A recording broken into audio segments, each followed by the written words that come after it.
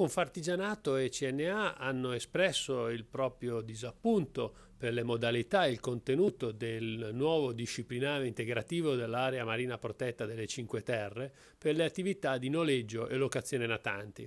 Riteniamo non ci sia stato un atteggiamento franco eh, tra il parco e gli operatori, ma eh, quel che ci dispiace personalmente è la mancanza di rispetto nei confronti delle imprese e del lavoro. Eh, va precisato che Confartigianato e CNA non hanno mai visto la bozza del disciplinare, né in fase di elaborazione né in fase di messa a punto del testo definitivo inviato al Ministero dell'Ambiente. Riteniamo siano stati eh, disattesi gli impegni assunti dal Parco durante una partecipatissima riunione promossa da Confartigianato e CNA eh, in provincia eh, che si è tenuta a febbraio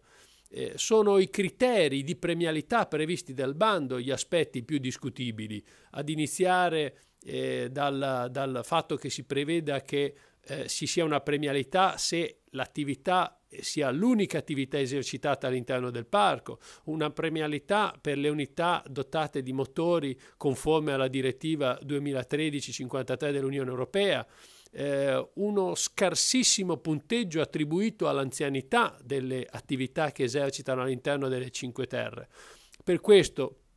abbiamo chiesto, incontreremo eh, a breve i vertici del Parco Nazionale delle Cinque Terre per auspicare eh, che sia ancora possibile una mediazione tra le imprese e il parco per tutelare le imprese che erano autorizzate nel 2019 ad operare all'interno del parco.